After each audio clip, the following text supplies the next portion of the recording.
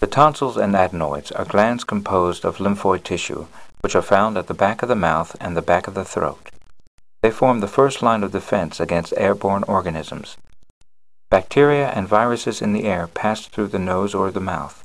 They are then carried to the tonsils and the adenoids, where they multiply in number and cause inflammation. White blood cells are attracted to the area to combat the organisms and cause the swelling and sore throat that accompany infection of the glands. Continued infection causes swelling of the lymph nodes in the neck.